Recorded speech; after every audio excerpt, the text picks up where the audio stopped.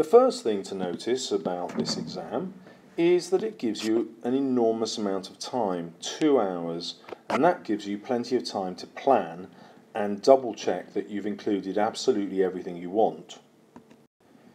Before you read any of the extract, read the question first and find out what it is that you need to read for.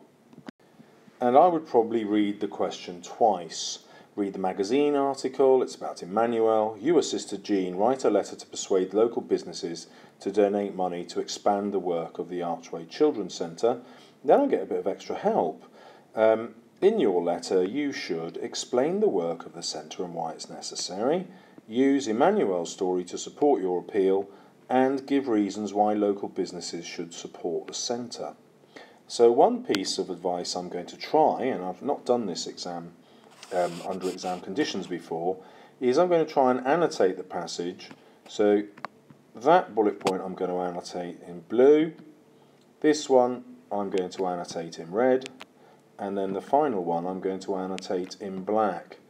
And the reason for that is that it will allow me to easily sort through the different information that I've got and then group it because it might not be grouped in the um, reading material in the text. It might not all appear in one spot. Um, and so I'm going to see if this will help me. Okay, well having read through the question I'm then going to go back over it and underline the keywords that will stop me forgetting any particular content. So I'm reading about this child called Emmanuel and what do I have to do? Well I'm going to write a letter and it's a letter to persuade. So if you've watched any of my other videos on persuasive writing, you'll know that I'm going to use a faster crotch here because they're all persuasive techniques, they're all rhetorical. I won't call them a faster crotch techniques because that's just my mnemonic. They will be rhetorical techniques.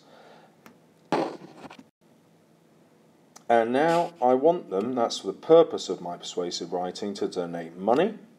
Um, and these bullet points I'm not going to underline at the minute, I'm actually going to use them as headings so I know they will be included in my eventual answer.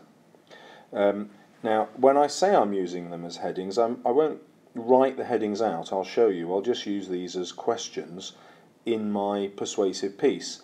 Why will I use questions? Well that's quite simple. I'm writing a persuasive piece and I know that questioning, particularly rhetorical questions, is a persuasive technique. So I'll turn those into questions when I start to write. Next I notice that I've got to base my letter on the magazine article and this could lead me astray because of the next bit of advice which will be in um, every exam this instruction be careful to use your own words. Now obviously when I'm referring to the magazine article my temptation is going to be to quote uh, but I can't do that. I've got to use my own words, so I'm going to highlight that in a bit more of a dramatic colour on my exam paper so I really remember not to go wrong there. Okay, so the next thing I need to know is I'm given a start. I'll make sure that I start that way. I only have to write one and a half to two sides in an hour, um, which is incredible. It would take me roughly 20 minutes a side which um, it might take you 25, which means you've got time to play um, to actually plan this or get it right. And then the next thing I notice, which is quite interesting, is that there are 10 marks just being given away for finding the facts um, for these bullet points. Now these won't be hard to find, uh, so those 10 marks are free. I'm going to get them, I'm going to make sure I nail every single one of them, and uh, after that, I've got 15 marks for the quality of my writing, so I'm going to think what that is in a moment. Okay, let's pause here and go to the mark scheme. And this is for the uh, reading element, the 10 points that I'm looking for. And I find that the mark scheme doesn't say I have to get a particular number of points. So it's not like the reading paper. It says I've got to give a thorough perceptive, convincing evaluation. So thorough means a lot of points, but it doesn't tell me how many. I've got to read between the lines, which tells me that not all the points will be absolutely obvious. And I've got to show understanding by developing much of the reading material. Okay, well, what does developing mean? Well, you'll remember from my video on the extended reading paper that it means the thoughts and feelings, um, presumably of the people in the extract. I'm going to be writing about Emmanuel, but I might also be writing about the business, because remember, I'm going to suggest reasons why uh, businesses should get involved. So, as long as I'm developing feelings and thoughts um, of either of those two, I'm going to get the marks for developing. Okay, well that doesn't sound too hard in theory and it's going to get me into band one, so I'm quite encouraged so far. Okay, as I'm reading the insert, I'm going to keep the question paper open. Um, here I've just copied the relevant bit so that I remember what colours I'm going to annotate for. Now you can fast forward this bit if you want, but I'm going to read this live and annotate it as I would in a real exam so you can see exactly what I'd do if I was doing this test. Among the winners at a recent awards ceremony, one 16 year old student stood out as an inspiring example of how education can transform lives. Emmanuel, a student from an international school in the region, won the top award for art and design. Yet just 10 years earlier, Emmanuel had faced a difficult and uncertain future living on the streets. Uh, so I'm going to double check. Uh, the work of the centre, mm, not really. I might just have it transforms lives. Uh, then I'm going to red. Use Emmanuel's story. Um, well, I know he was living on the streets, I'm going to include that. And I know that he's 16 years old. And give reasons why local businesses should support the centre. Well, that's going to be transforming lives again, so I'll just underline that in black as well and then we go to the next paragraph. Owing to difficult family circumstances, Emmanuel ran away from home when he was just six years old. His parents were not able to look after him because of illness and lack of money. Initially, he begged on the streets of the capital, which exposed him to many dangers and risks of disease. His life changed forever when one day, by chance and in the hope of a meal, he found himself in the Archways Children's Centre. Okay, well, we'll go back to blue and I now know the name of the centre, so I'm going to underline that. Um, is there anything else about why it's necessary? Um, well, possibly to help young people avoid dangers and risks, uh, and in order to change people's lives. So, change lives forever, I'm going to have that. Um, and also because people have difficult family circumstances, so there's always going to be a need so I'll have that. Next, I'm going to have Emmanuel's story. Uh, so, ran away from home, and he was six years old. Um, and we know parents were ill and they had no money, so we'll have lack of money. And he begged on the streets, uh, which is very dangerous and risky. Um, and he was at risk of disease. Okay, so then give reasons why local businesses should support the centre. Um, well, probably the big thing is uh, risk. They're going to stop young people being at risk of all sorts of um, problems. Okay, I'll go to the next paragraph. It was June 1997, and from that moment my life changed, says Emmanuel. Before that, I'd been in a dark room searching for a way out. But then I found a door, and that door was the Archway Children's Centre. No one opened it for me, I opened it myself. Suddenly, after so many years of darkness, I felt as if someone had switched on all the lights. Uh, well, I've got a bit of a problem here. This is all quotation, and I've got to use my own words. Is there anything in there about the work of the centre? No. Is there stuff about his um, his story? Yes, I suppose there is. There's this idea of him deciding for himself. Um, and so uh, this idea of um, self-determination I'm going to have to come up with. Um, and so I might just write that here to remind me. Self-determination. You'll have better handwriting than me. Um, which means that he's taking his destiny into his own hands, but that was all possible because of Archway. Right, next paragraph. The centre is dedicated to empowering street children aged between 7 and 17 years old. It provides them with shelter, medical treatment and clothing, as well as education and numerous other services. Their vision is of a country in which all children can enjoy their basic rights to survival, development, protection, and participation in society. They believe that every child has a talent and a need for it to be discovered and nurtured. Well, I know immediately that that's all about one thing, it's nothing to do with his story. Um, it's going to give me a lot about the work of the centre, so let's go blue. Um, and so it empowers street children and they are aged 7 to 17.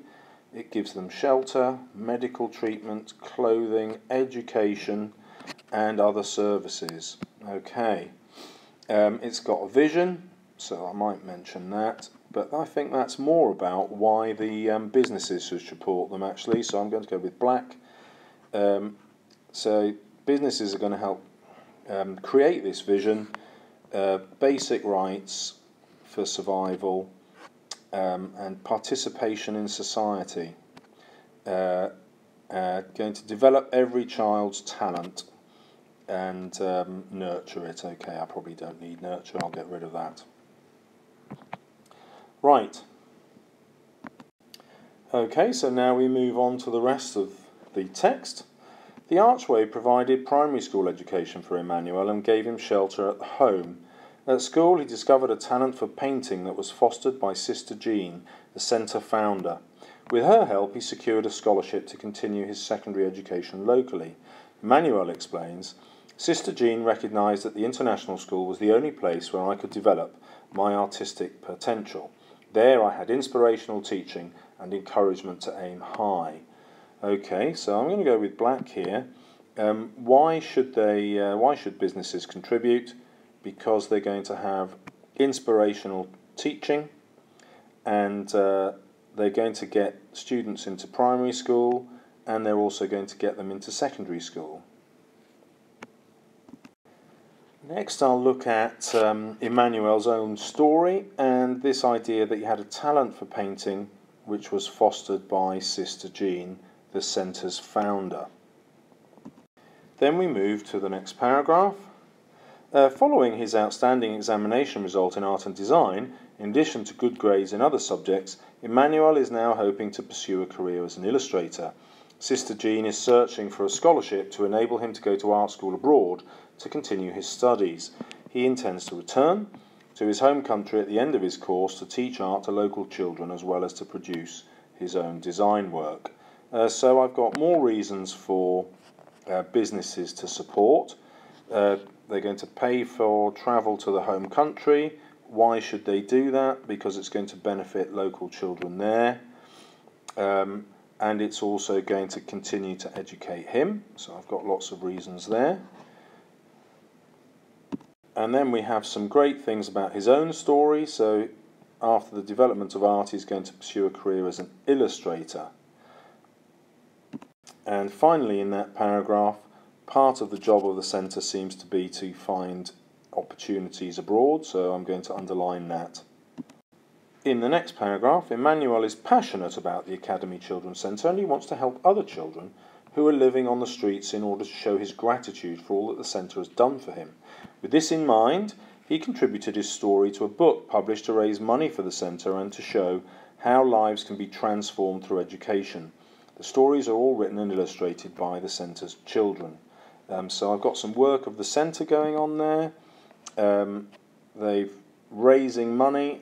Um, they've published a book to do it, um, and they've done it with the children, so they're empowering them. Um, a bit more of Emmanuel's story. Um, he's grateful, and he's contributed a story to the book. And then I scan over again and I realise that there's nothing new in here about why uh, businesses should, should, should support. So I now move to the final paragraph. The number of street children in this country is rising dramatically, and it's estimated that there are 3,500 in the capital alone. Emmanuel says, without the centre's founder and my own efforts, my artistic talent would never have been discovered.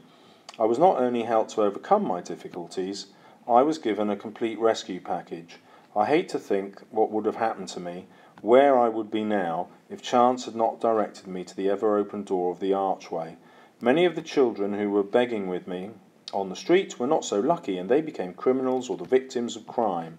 Whoever buys the book, which is helping to rescue more street children and opening the door so that they can step into the future, uh, one day, I want to be able to say that I helped other street children to find out what they're good at. I hope to help them shine. Okay, so there's some more stuff about the work of the centre. Um, massive number of children to help. Um, there's the idea of a complete rescue package. And there's the need to be uh, ever open and always available. Uh, reasons why local businesses should help well, the other children who were begging with me are now um, criminals or victims of crime, and so I'm helping a whole generation. Uh, so businesses are all about improving their future and to raise money to cope with the dramatic rise in numbers of uh, young people in need of help. Okay, so that's 10 minutes out of my hour gone, and it means I still have uh, roughly 50 minutes to write my response. And another way of looking at that is to say that I've, uh, I've spent 10 minutes looking for 10 marks for the reading, and hopefully I've got everything that I need. Let's double check with the um, exam criteria. Okay, let's go through them one by one. Uh, yes, it uh, saves children, prevents children from becoming involved in crime, gives them a future, changes lives, nurtures talents, provides a full range of shelter and support, uh, believes children have a right to a place in society. No, I didn't get that one. Number of street children on the rise, published a book. So I've got uh, only one of those missing. Uh, and by the way, I didn't read this before um, I looked at the paper. I did this like a real exam. Uh, turned up at the age of six, showed early talent for painting, adapted to international school education, maybe, I probably haven't got that. Excellent in art, yes. Wants to become an illustrator, yes. Intends to return to his country, yes.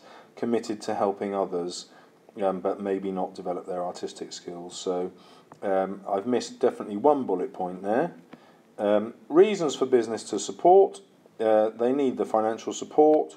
Children with talent and dedication need further education that the centre can't give. Yes, I've got that when I'm talking about the uh, primary, secondary school, and international school. There are many other young adults like Emmanuel. Well, I've got that with the rising number of homeless people. Uh, business benefit from publicity gained. Now, I haven't added that in, so this is the sort of thing that's reading between the lines, that's not actually in the passage. Um, commerce has a moral obligation to help the underprivileged. Again, this is reading between the lines and not in the passage and businesses benefit from increased educational skill levels in the local community, again, which is not in the passage. So now we can see that the, um, the extra marks are given for inference, which, just like in the reading paper, is the third bullet point. And then if we look down the bottom here, you will notice that I began by saying what a fair exam it is, and here's the proof, except all other relevant ideas derived from the passage and relevant to the question. Uh, so there aren't right or wrong answers. Okay, before I start writing, it's worth getting to know this exam a little more um, thoroughly. What am I going to be marked on in my writing for these 15 marks that are available? Well, I've got to have my sense of audience, so I'm writing to businesses. I'm going to remember to be formal. I've got to be authoritative. In other words, I've got to really persuade them. Um, that's no problem because I'm going to use the faster crotch techniques and that will also take care of my appropriate style. I'm not going to put any jokes in there, for example, because I'm remembering who I'm writing for. Uh, next, I'm going to use varied sentences, and this is something I teach my students all the time. We practice uh, beginning sentences with adverbs or verbs, or having short sentences that are uh, three, four, or even one word long, um, we practice having really long sentences that have to be at least 35 words or that contain colons and semicolons, and that forces you to have a variety of sentences. But actually, the easy shorthand for doing that is just to say one thing to yourself. Start every sentence in a different way. And once you do that, your writing becomes immediately sophisticated and it leaps up into the top band. So start each sentence in a different way and you're going to get into band one. Uh, then I've got a strong sense of structure here, paragraphing and sequence. So I'll remember to always paragraph for changes of time and topic. There won't be any talk in this instance because um, it's not that kind of writing, there's no conversation in it. And I'm going to double check everything for error. And then finally, as I would expect, it wants a wide range of vocabulary. Uh, so I'm just going to imagine there's a thesaurus in my head and I'm going to use it as often as I can. Um, if I'm unsure of a word, I won't use it because I don't want to sound stupid. In my next video, I'll be taking you through how I actually write my answer to the question. And um, I don't actually need to do this, of course, because I'm not taking the exam, but I want to show you what it actually feels like uh, to write under exam conditions. So look out for that, it will be available later today, and please subscribe. Hello, in this video I wanted to show you what a directed writing question looks like and instead of approaching this as a teacher I decided to do it as a student so I've done the question myself and I'm going to teach you what I learned. Good luck. You should remember from my previous video that I've annotated the passage in three different colours, one for each of the bullet points in the question, and I'm using this to organise my ideas uh, at the start of this essay. Next you'll see that I've started Dear Local Businesses just as the exam paper instructed me. I start with the first bullet point and I'm simply working through all the things that I've underlined in the passage um, in that colour. Uh, moreover, I don't worry about how many paragraphs this takes. I simply change paragraph each time there's a new topic. I've now moved on to the second bullet point and again I'm writing in paragraphs. Because I'm holding the iPad in my left hand I need to take a break here and give myself some support with my jacket. And I'm pointing this out because the discomfort of the exam is temporary. I don't even have to do this exam but I'm doing it one-handed uh, as though I were being assessed on it, and this is my bank holiday Monday. This also means that I'm not too worried about presentation. I'm just trying to get my ideas down as quickly as possible. Um, well, obviously, I'm an adult, and this um, 40 minute question uh, took me only about 25 to do. But it's important to remember that I haven't become at this good at a question simply by being older I'm not as intelligent as many of you taking this exam. In fact, my main advantage over you is that I know what hard work looks like and I just get on with it without worrying. Pain is temporary. Okay, now you'll see me turn to my um, question paper and I'm ticking off all the points that I've managed to put in and putting a circle around the things that I haven't yet included in my answer. This is a vital double check. This means I now choose a footnote 1 and that's where I want to insert the extra information and now I write 1 again on a new page and I enter all the information that I'd want to fit in. Um, this means I'm aiming for 100%. And this is an approach I take to any exam in any subject. I always aim for 100% and I use every single second of the exam time in order to try to achieve that. Right, that's the 15 marks for content taken care of. Now I want to make sure that I get all the marks for the writing content, 5 out of the 20. Here I've highlighted the words I use to begin each sentence. And my reason for doing that is simple. I want to make sure that I've started each sentence in a different way. And that gives my writing great variety and it makes it original. So that, again, I'm aiming for 100%. In addition, you will also see that this has caused me to start many sentences with connectives, or verbs, or adverbs.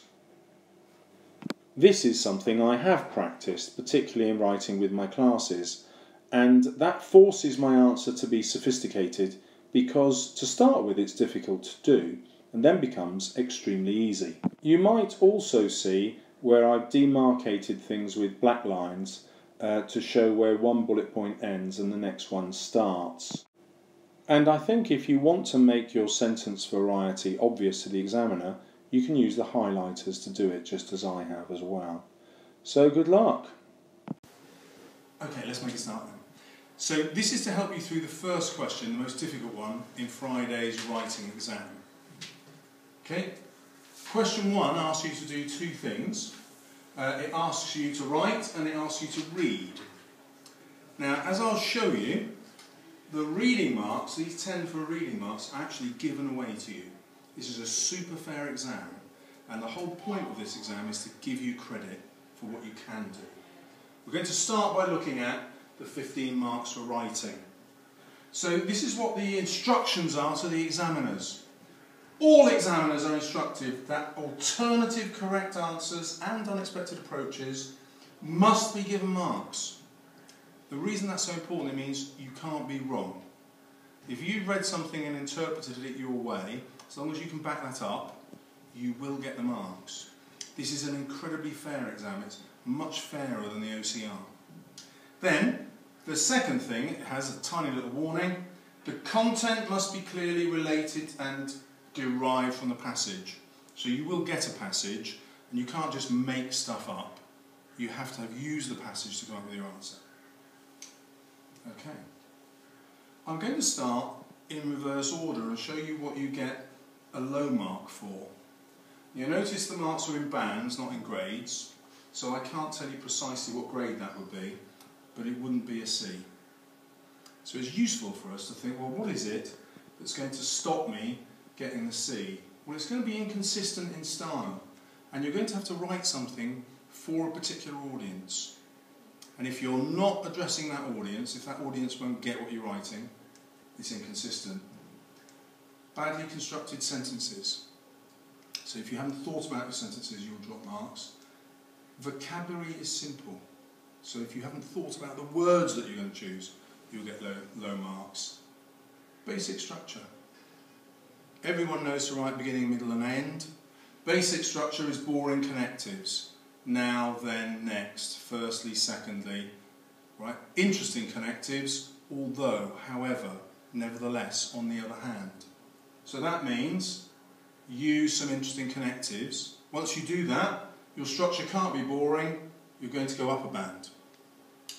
Frequent errors, including sentence separation. Now I've added this bit here to translate what sentence separation means, and I get this a lot, using a comma instead of a full stop. So that's one thing. If you use a comma instead of a full stop, you will not get a decent grade in this exam. So if in doubt, use the full stop. Yeah? You have to get that bit right. Now, what you'll find here is that spelling isn't directly mentioned. So you might get frequent errors in spelling, but those aren't as important as the commas one. So the examiners aren't too hung up about spelling. In fact, they're saying your vocabulary is boring because maybe you're worried about trying to spell the right word. So you get more marks for putting the right word in, yeah, than spelling it wrong gets marks taken away. So if in doubt, put in the right word. Doesn't matter if you can't spell it, use it anyway. Let's look at the band above. So here, you have taken account of the audience, but not very well. So you're possibly sitting there thinking, well, hang on, if I'm writing a letter to a head teacher or to a parent, I can probably do that well all the way through. Yeah, and if you can, you're going to go beyond band three. Uh, the examiners don't make any content on the style of your writing or how fluent it is. And in other words, your writing doesn't have to be that good as long as you're trying things out. Uh, how are you going to try things out? Well, number four says you're going to use correctly constructed sentences. That same rule, making sure your commas are in the right place. With correctly constructed sentences, you are going to want to use commas, but correctly. Five, vocabulary may be plain but adequate for the task. So here, you're trying to use the right words. You might not always pull it off, it might still be plain, but you're trying to use the right words you're getting into band three. So this is probably where we imagine the C grade might be. Yeah? Hopefully I'm showing you that it's not that difficult to get a grade C. I have to bear in mind who I'm writing for. I don't have to be particularly stylish or brilliant at writing. I don't have to be particularly fluent. Again, brilliant at writing. now I'm going to structure it with decent sentences. I'm going to get my commas right. Now I'm going to think of the best words that I can. I'm not going to worry about spelling. Mostly quite well structured. Thinking back to my connectives again. However, although, because, nevertheless, on the other hand, those sorts of connectives will force the examiner to say it's well structured. There is one way of getting the structure wrong, and I see this a lot when I look, especially at Tom, this. People who forget to paragraph. If you don't paragraph, it's not well structured. Now you all know how to paragraph, but it's remembering it in the exam when you're under stress. So when you go into the exam, I would write on the top of your page paragraphs. The next word I'd write is commas. The next word I'd write is although, because, however, on the other hand. I'd have that as a mental checklist right on my page so that I knew I was going to use those. When I finish talking, I'm going to ask you to write those down. Okay? Uh, all right, so I've got to paragraph it, but there is no examiner comment on sequence. In other words, if I took something that's paragraphed, chopped it all up, put it back together again, if the sequence isn't very good, I could change the order and it wouldn't matter. The examiner will still give you the mark. If the sequence is really good, it goes back in the same order I got it in because you couldn't rearrange it a different way because of the way you've written your paragraphs. So amazingly, I can get into band three with stuff that's not that well written. However, and I put it in purple, errors are minor. So we don't want many mistakes. Or, if you've made a mistake, it's a spelling mistake because I can still understand the word, but it's not a punctuation mistake, which changes the meaning of your writing. So this is the examiner saying, pay attention, punctuation, ac accuracy of punctuation is really important here. Get that right. The good news is, you have one hour to write a maximum of two sides. One hour for two sides, that is amazing. But the reason for it is, they expect you to write your two sides quite quickly, half an hour, 40 minutes, and then 20 minutes, I'm not exaggerating, 20 minutes to go back and think, I've got to get my, my mistakes to be minor. I'll still make some mistakes, but I've got to get rid of every single one I can possibly find. And that checking is going to make sure you get at least into this band. Right, let's see how we do higher up the bands. So, this is band two. We'd imagine grade B must be there. Well, what do I have to do? Well, I'm still writing for my audience, yeah, for my head teacher or my parent, what have you. Mostly secure. Sometimes I might even make a mistake there, put in some language that's too friendly, but the examiner is going to say that's okay, because it's still mostly, it's not all the time. There is evidence of style. So you're now starting to think, what would that head teacher or that parent want to hear from me? How am I going to use the right words to really persuade that person? And that's where style is. Who's it written for? I've got to persuade them. They're the ones I've got to impress. Fluency is the same as style. Sentences are effective. We all write in sentences, don't you? So that's probably going to come easily to you. Vocabulary is effective. Again, you reach for that right word. Yeah? I want to moan about the state of school dinners. Moan isn't the right word. I want to complain about the state of school dinners. That's a good word. Better word? I would like to protest about the school dinners that we are fed at Chipping Campden School. Yeah? So you're thinking about the actual words. Usually, those words will be your verbs, your doing words. Moan, complain, protest. Yeah, your doing words, if you're thinking about them, you'll get that. Your vocabulary will be effective. Secure overall structure. Can anyone tell me the connectives I keep banging on about? Let's have one each. Uh, however, uh, on the other hand, also. I didn't say also. Also is banned. I've never mentioned also. We've had it. Um, therefore, I didn't mention it, but you're right. Therefore, Yeah, reach for those connectives and you will have a secure overall structure. I allow you one also. Now, the reason why, if we go back, simple vocabulary, that's also, also says this is simple to an examiner. Yeah, because can we have a more complex word for also? In, add, addition, in addition, sounds like a stupid dance. In addition means also. Another one beginning with M. it's got over at the end of it.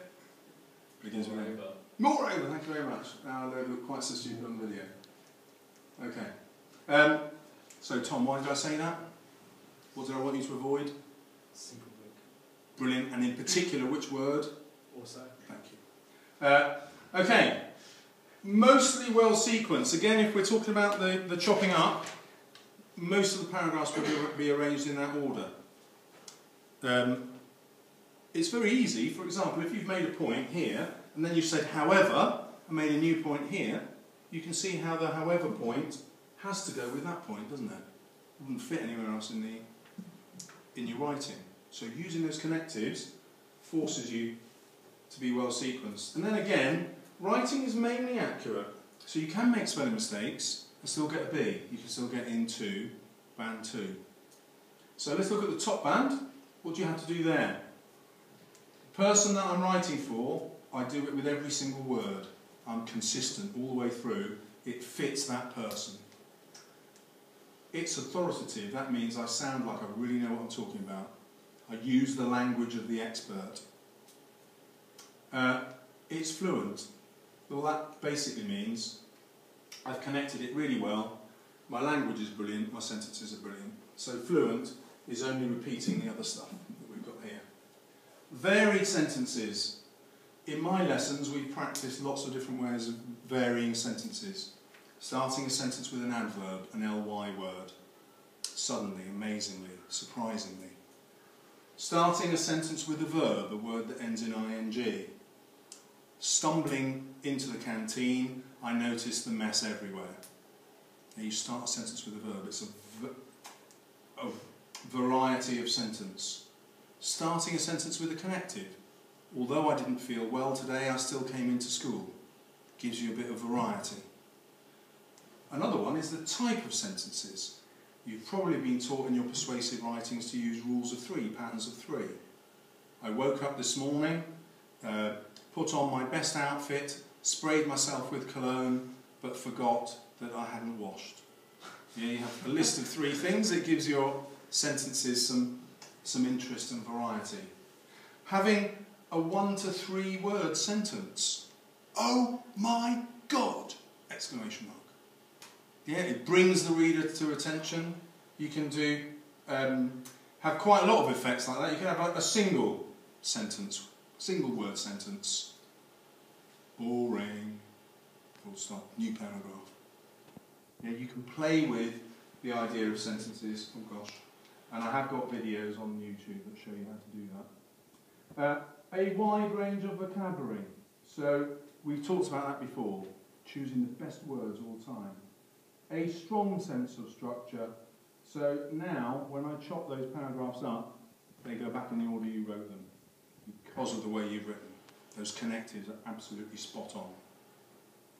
Virtually no error. Realistically, most candidates are going to make mistakes. So you could say, well, they're not going to get the A or the A star. However, that's only 0.8 out of 13 to 15 marks. So I might get 13 because I've got the other things. That's really encouraging. It's a really fair exam. Bear in mind my advice earlier though. You will finish this question after 40 minutes, but you're given an hour. 20 minutes, make sure you've got no mistakes. 20 minutes to go back and think, actually I could change some of these words. 20 minutes to circle the first word of each of your sentences. Oh, I started three words with I, three sentences with I. That's boring. I'm going to change two of those sentences. Oh, I started three sentences with the word then. I'm going to get rid of the word then in two of those sentences. Oh, I've started one of my sentences with the here, another one starts with the here, another one starts with the here. I'm going to change two of those sentences. And I teach all my students if you start every sentence with a different word, I know that sounds ridiculous, but it works. Start every sentence with a different word. You will be doing that. You will be doing that. You will be doing that. Yeah? It's very simple to do. And you've got time in the exam to go back and change. Perfect exam answer is messy. It looks a bit like that. And you will have stuff crossed. This isn't an exam answer, I just nicked it from the table, okay? But you'll have crossings out and things that you've changed. The examiner wants to see that. You've improved your work. You were trying to do this, trying to do that. Yeah? Mess is allowed as long as the examiner can read it, because you're trying to improve it. You can take a paragraph, cross it out, and rewrite the whole paragraph if you want. You've got time. Yeah, so that is my message to you. Use that time, and you can't go wrong in this exam. Okay, so that is the writing part of question one. Now I'm going to tell you about the reading part. And I began by saying that the reading marks, of which there are 10, are pretty much just given to you. Let's see what I mean by that. Um, well, this is a lower band. Select points from the passage. Yeah, I can do that. Read a passage and pick out a few points. Rather literally. Alright, so I might just pick out a few facts. Uses the material thinly. So it doesn't use many facts from the passage. Well, I reckon I could use more than a few facts. I'm imagining is what you're thinking. So you're going to get higher than this. Does not combine points into a connected response. Ah, so what does the examiner mean? I might have a fact here, fact here, fact there. They all come from the passage, but they're not combined. Yes. Doesn't link them to the question. Excellent, doesn't link them. What have I been teaching you several times to show you how to link them? Ah. Though, however, therefore, because, consequently. Yeah, so if you use those connectives, you must be linking, which is Tom's translation of combine. You must be combining. You can't get in band four, you must be higher. That all comes from the connectives. Let's go up to the next band. Reproduces a number of points. Oh, okay. Four, maybe? I pick four things from the passage. They have to put me in band three. Four things is better than just selects points. Well, that's easy, isn't it? I've got an hour in this exam. And by the way, the passage is just a piece of A4. I'll show you a piece in a minute. It's not long. So, yeah, I'm going to get four facts. No problem. Or more. The response covers the material adequately, may miss opportunities to develop it relevantly or at length. Oh, okay. So, if I write less than two sides, maybe I'm not going to get the marks. But the examiner does say you can write one and a half to two sides. So, I'm going to write at least one and a half. If I write at least one and a half, probably met that. I've used my connectives well. I've got at least four points. I'm going to ace this exam, band two. Some evidence of evaluation. Okay, let's go back to my connectives. Some of the connectives I gave you force you to make a judgment where you say one thing is better than another. Can you think of a connective that will force you to make a judgment?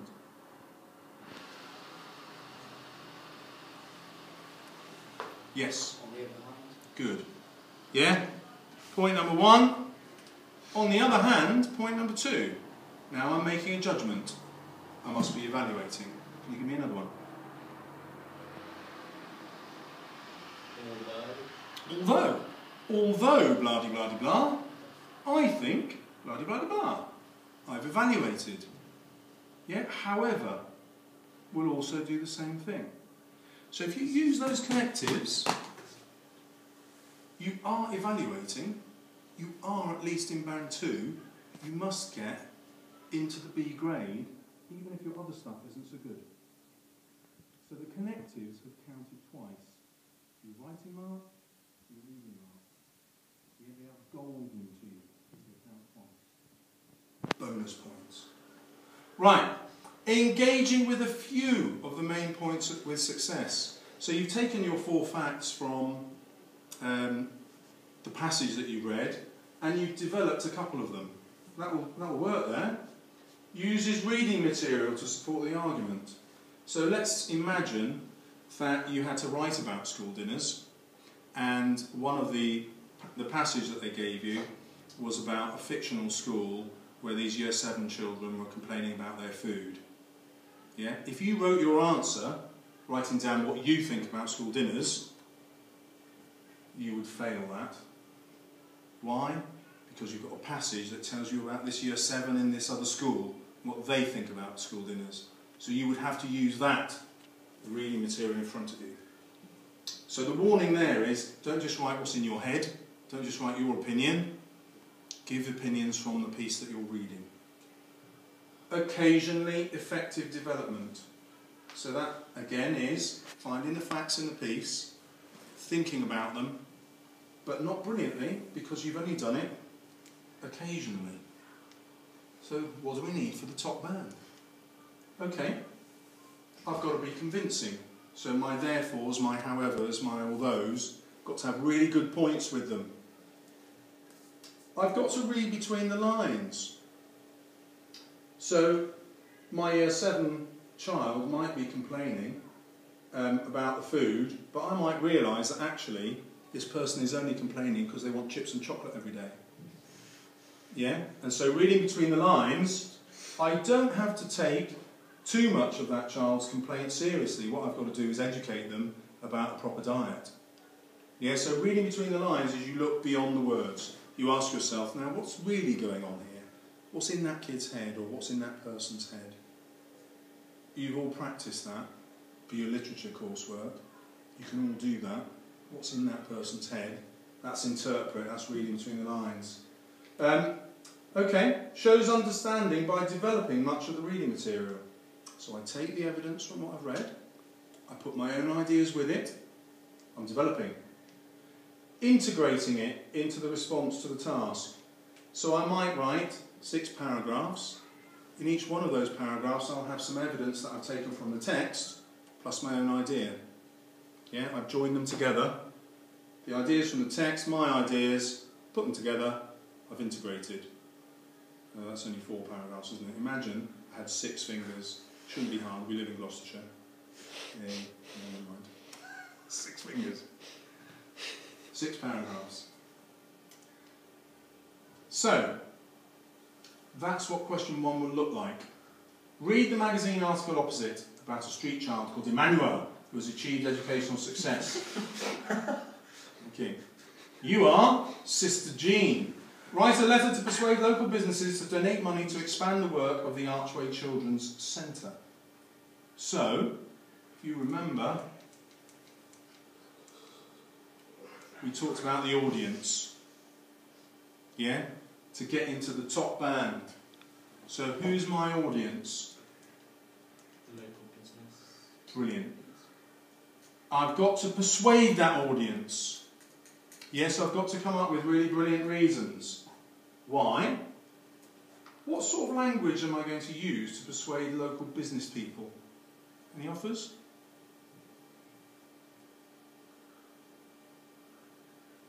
Let me rephrase the question. If I had formal language that you'd find in the Times newspaper at the top of my board, and informal language that you might use in an argument at home down here, what sort of language would you use? You're going for the top. That's it. You're thinking. Yeah, many students say to me, posh words. So I'm going to use po- yeah. So I'll say, why not? You understand what that means? That means be as posh as you can. Simple as that. Be posh, you'll get the marks. Um, okay, I'm going to ask you to look at that bit. What is the thing I've actually got to persuade them about? It's donor money. Okay, that was easy, wasn't it? Yeah, but you'll be surprised in the exam, students often forget what they're actually trying to persuade. Okay, so that tells you who your audience is, and you've already seen that gets you into band one. This exam is so helpful, they give you even more tips in the question. So that's the next bit of your question. That's actually on the question paper. In your letter, you should do these three things explain the work of the centre, why it's necessary. Use Emmanuel's story to support your appeal. Give reasons why local businesses should support the centre. Which one of those are you going to use your connectives with? I mean, you might say all of them, yeah, but there's one that jumps out, which is the one where you've got to use loads of connectives. Reason. Good. With your reasons, yeah? Most importantly, moreover, in addition, however, alternatively, on the other hand, with your reasons. Yeah, so the examiner is actually making this easy for you because by telling you to do that, the examiner is forcing you to use connectives, which is forcing you to have varied sentences, which is forcing you to get into the top bands. So those connectives suddenly become really, really easy ways to get marks. Which bullet points are you going to have to get reasons from the texts in? So you're going to read this text, yeah, you've got three bullet points. Where are you going to get evidence from the text? Which bullet points? Using Manuel's story. Good. So that's all going to be about him, isn't it? Yeah, and possibly in a different part of the text, there'll be what the centre does. Very easy for you to find. Yeah, you only need a few examples, one in each paragraph, and you're going to get the grade. Now, not only does the examiner give you all that help, there's a third bit of help they give you. Oh, what, I've just highlighted what the keywords were that we've just discussed. We didn't miss any of those, did we? So, then it says, base your letter on what you've read in the magazine article. Don't just tell me what's in your head and your opinion. Won't get the mark. Base it on what's in the magazine article. Be careful to use your own words. Yeah, that means I don't take a sentence out of here and copy it into my answer. Try to use my own words. Don't copy. Are you allowed to use quotation marks if it says that? No. No. Use your own words, don't use quotation marks. Right. Amazingly, it says, this is how I want you to start your letter. Actually tells you how to start. Dear local businesses. Then it reminds you, as I have, you only have to write one and a half to two sides, which should take you how long have I been saying? 40 minutes. Which leaves you how long to check? 20 minutes. Good. Um, up to 10 marks are available for the content of your answer, that's the reading mark, and 15 marks for the quality of your writing, which we looked at before. So, I hope I've shown you that the examiners are actually giving you the marks away. All the information you need to answer this is in the passage, and all the skills are really easy to do. Hurrah. Okay, let's recap then. I need two connectives each, and we'll do one at a time. On the other hand, and however. Oh, sorry, I said one at a time, but you've used your two lives, but it makes it harder for you guys. Although. Uh, therefore. Ah, Can't remember the others. What is it? I don't know. The one instead of also, Oh, no, no, don't. Oh, no. In, begins with A, ends in shun.